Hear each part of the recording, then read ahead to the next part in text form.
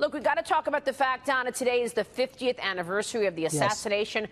of the Reverend Dr. Martin Luther King Jr. Your thoughts as we remember Dr. King a half a century later?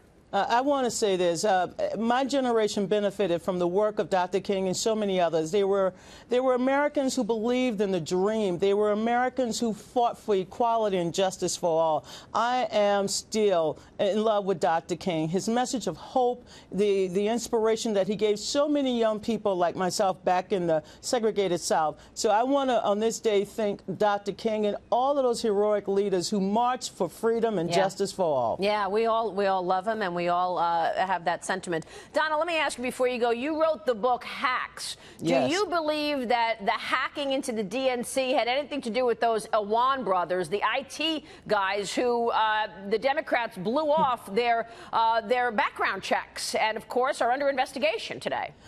Well, you know, the, the House uh, uh, investigation, I haven't read the full report, but, you know, I believe everyone should be vetted. No, I don't believe those individuals had anything to do with the hacking of the Democratic National Committee. I would hope that before uh, Director Mueller finishes investigation, we get to the bottom of it. We know that there was Russian interference in our election system. I want to figure out who committed this crime, and they should be brought to justice. Yeah. No, well, the Awan brothers, just to be clear, is a separate story from the Russia, uh, from the Russia probe. Uh, but you were were there at the DNC. Did you work with uh, Mr. Awan?